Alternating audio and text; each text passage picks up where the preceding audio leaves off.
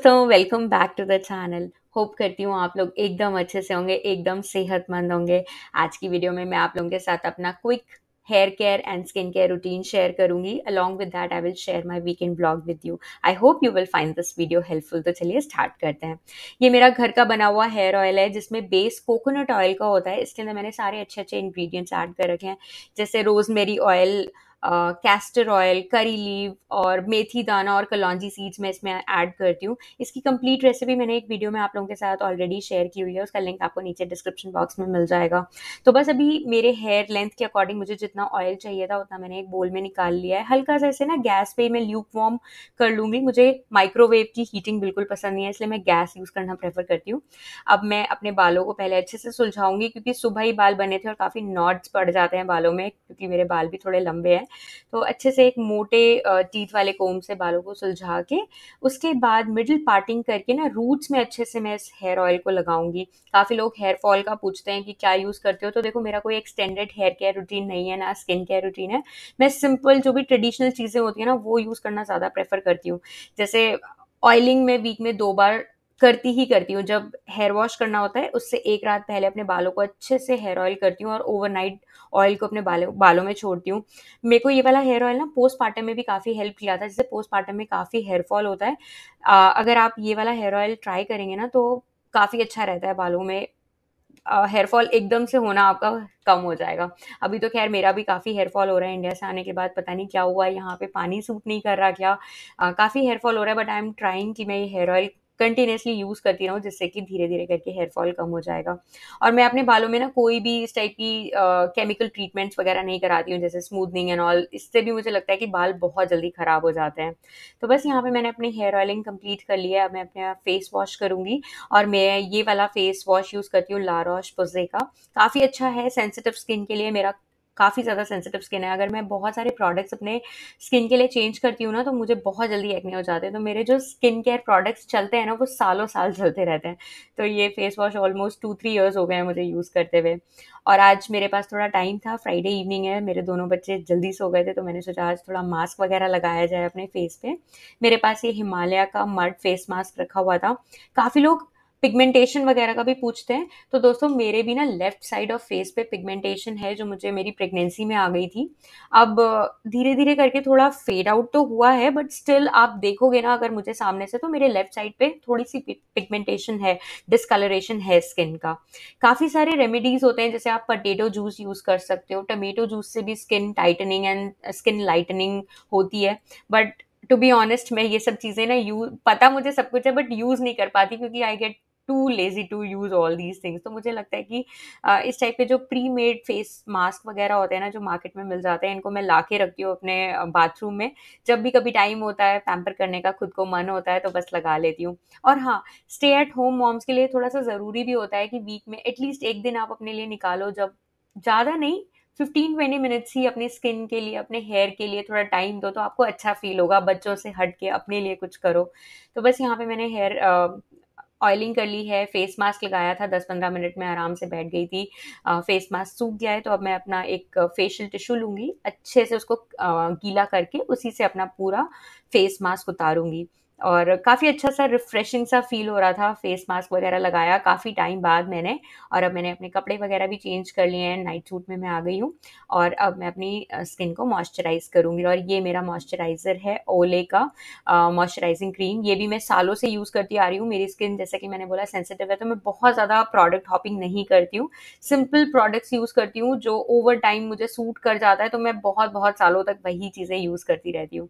तो बस मैंने अपनी क्रीम अप्लाई कर ली अपने अपने फेस पे एंड uh, उसके बाद मेरे पास रोलर uh, है। रोलर से मैं थोड़े से स्किन को मसाज कर लूँगी जिससे कि स्किन um, में अच्छे से क्रीम पेनिट्रेट कर जाए एंड दैट्स अबाउट इट यही मेरा सिंपल सा skin care and hair care routine रहता है। हेयर केयर जैसा कि मैंने बोला मैं वीक में दो बार नेसेसरली अपने बालों में तेल ज़रूर लगाती हूँ तो बड़ा अच्छे से चंपू चंपू बन के मैं रात में सो जाऊँगी और फिर नेक्स्ट मॉर्निंग वॉश करूँगी। गुड मॉर्निंग दोस्तों। आज है सैटरडे का दिन। तो चलिए कंटिन्यू करते हैं इस ब्लॉग के साथ।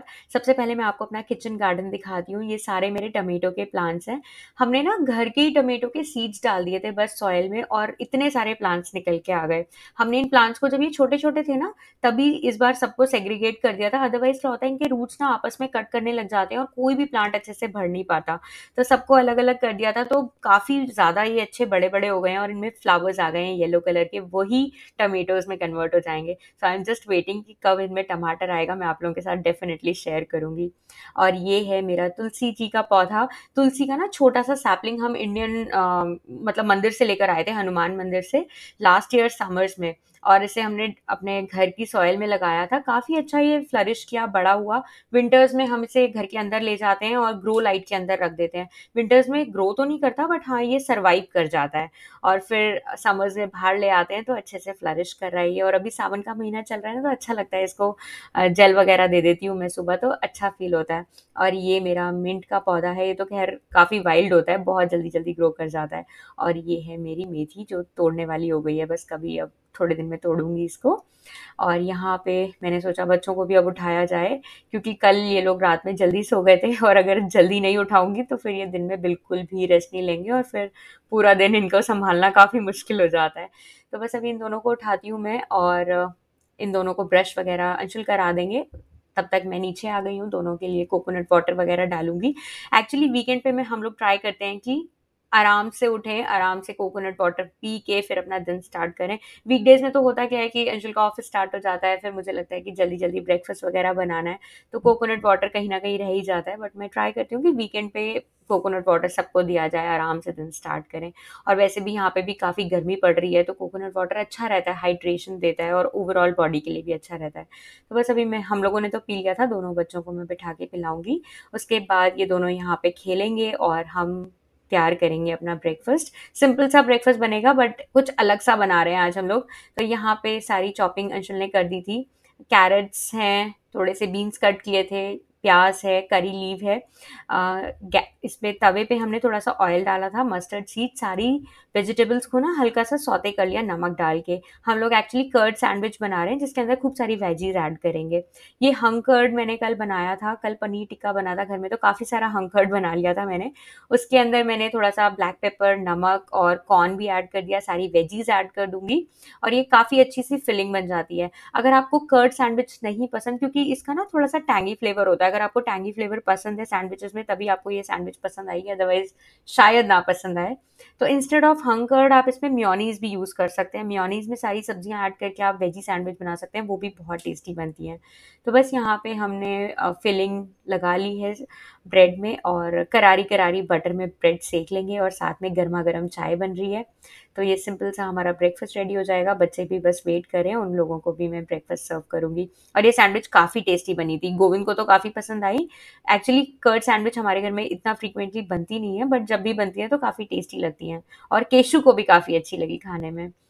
और ब्रेकफास्ट के बाद बस मैं बच्चों के साथ थोड़ी देर ऐसे ही बैठी हुई थी। आज ज़्यादा कुछ कुक नहीं करना है। लंच में भी आपको दिखाऊँगी काफ़ी कुछ चीज़ें रखी हैं।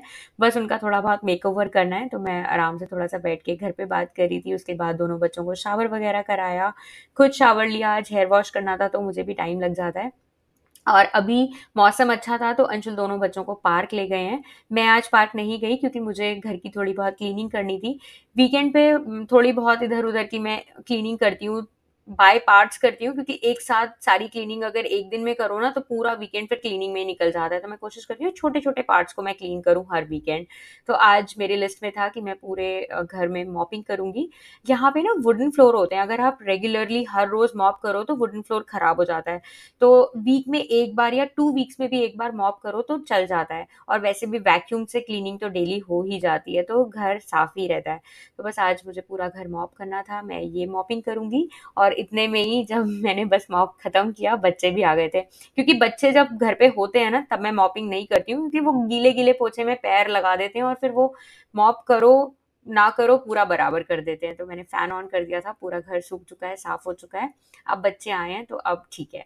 और यहाँ पे अब मैं लंच बनाऊँगी क्विकली तो ये पनीर टिक्का मसाला एक्चुअली मेरे पास रखा हुआ है कल से। कल पनीर टिक्का बचा था वो काफ़ी सारा मैरिनेशन बन गया था।